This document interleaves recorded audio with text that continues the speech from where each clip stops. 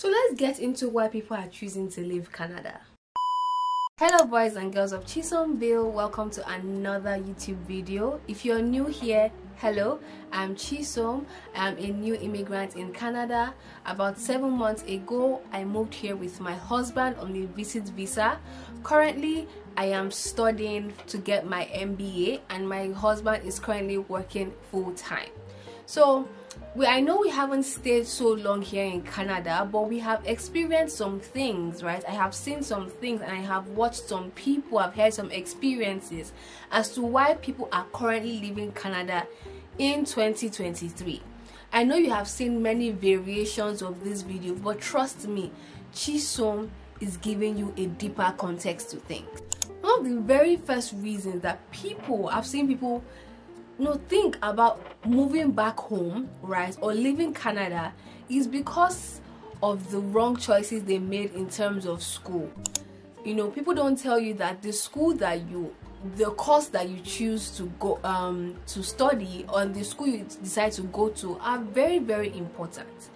So we have some people we have some cases where some people don't have their tuition they don't have enough money to pay for their tuition fee. And their plan is that they would come to canada and combine you know schooling with um, the side jobs that they have in order to be able to pay their tuition. And if your if that is your plan it is not a bad plan. But where it can hurt you is now when you go and choose a course that that number one is very expensive number two it's very very stressful. So i will speak for the course i'm currently studying. I'm currently studying an mba and i know that it's definitely hard if you don't have the complete tuition or at least very close to it right? You don't have it. And your living is very much dependent on you coming here and working a side job which is just 20 hours a week. It's going to be very hard to combine all that with schooling and trying to get your MBA without failing because MBA is joke. If your route is similar to what I just described, it's really better to go for courses that are just calm. You know, go for course that as you're taking it, your heart is not beating because hmm, so the second reason, I mean, is very obvious. Everybody that comes to Canada talks about the Canadian weather, but they never really actually go deep into like the effect of the Canadian weather. I know that there is cold, like there's the cold bit, but there's that part that kind of encourages depression. Like you would look outside by 5 p.m. and it's dark like it's it's 12 midnight or it's raining it's just gloomy it's just sad and for a country where like maybe half of the year it's it's like winter it's cold it's gloomy. And maybe you're now somebody that is an extrovert. You want to be going out. You want to mingle. You want to meet people. My dear it's already it's, it's, it's, it's, you can see the red flag as i've described you said you can see the red flag there. The third one here is um community. Now, this is specifically speaking to Nigerians, right? Because over here, I've seen some people, like some people from other countries, actually form. It's very easy for them to form like good communities here or join communities here, and that's like the Indian people, Indian immigrants here. It's so easy for them to just join a community, but it's not the same thing here as a Nigerian and to be honest, do I blame Nigerians for just coming here and just wanting to focus on their focus? I don't because I've actually also like I've experienced some things where I'm just like, nah, you know what, like I'm just going to just look away and just focus on my focus because this is not it, right? So when people come here and again like down to being an extrovert you like to meet people but you come here and it's hard and people are not like you know that kind of friendliness that you experience in Nigeria is like you come here and it's not that way. People are just laser focused you know don't want no troubles.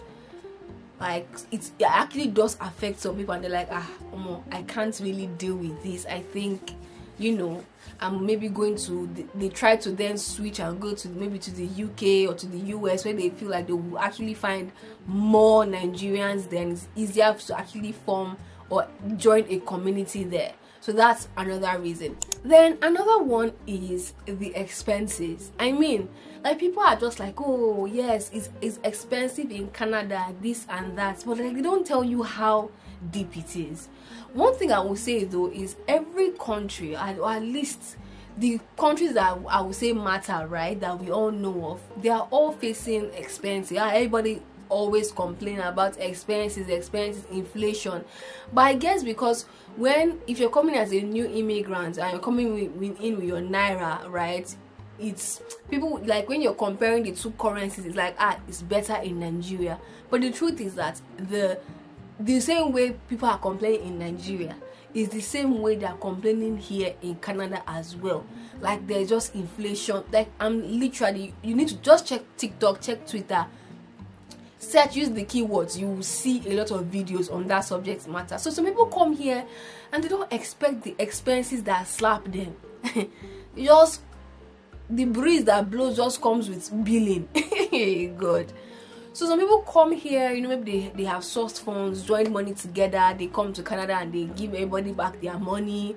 Or maybe like they just found a way to just you know rigmarole and just come here without actually having those funds then when they come here they now see that they actually need those funds to survive because you are paying for everything here in canada.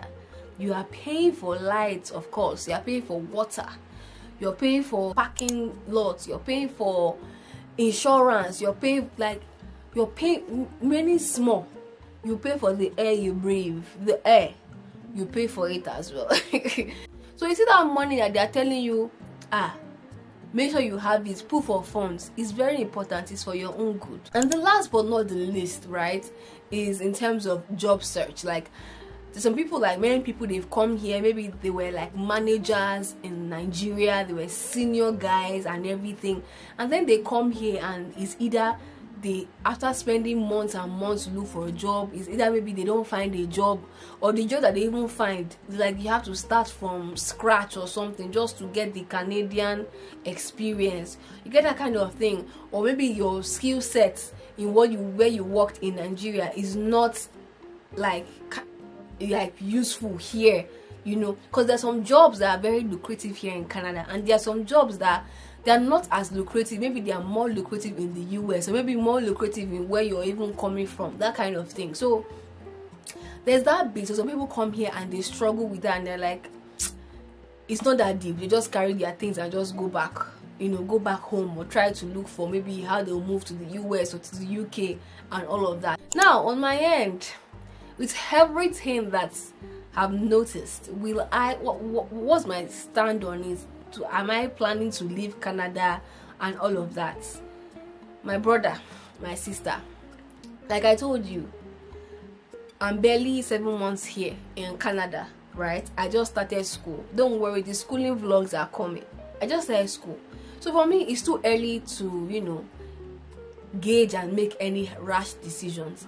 But I would say this I'm not someone that's like, okay, ah, Canada, 50 years, I'm like, I must be here for 50 years. I must have my house here. Like, for me, the way I see it is that um, it's it's a season for me like and my family like we have goals to achieve here in canada right there's a reason god has planted us here and it's like oh once we are done with fulfilling whatever we are supposed to fulfill if it's if we are moved by the spirit to move to another country my dear we'll carry our bags and we'll move they no join they no gum my leg in the in canadian soil to be honest it's not that i don't know how to explain it it's all about having goals and achieving the goals that we want to achieve you know i can't tell you that oh i want to retire here or it might be another country it might be Switzerland, it might be US, it might be Dubai. Do you understand? Like, yeah, like I'm just open. Like I'm literally an open vessel. Wherever God takes us, right? We are both open vessels. Wherever God takes us. But in the meantime, we know that we have quite a number of things and goals to achieve here in Canada, and we're just going to keep working until we achieve those goals. You know, and that's pretty much it that's currently the feeling here so there's no country you go to that you'll not have um, issues that you would face right it's just as you're coming just be prepared. Come with the money. Because first of all man must chop right? Once you have the money right that you're coming with at least some of your problems are solved. Then you can focus on other problems that kind of thing you know? That's life. So that's pretty much where i stand and that's pretty much the end of this video.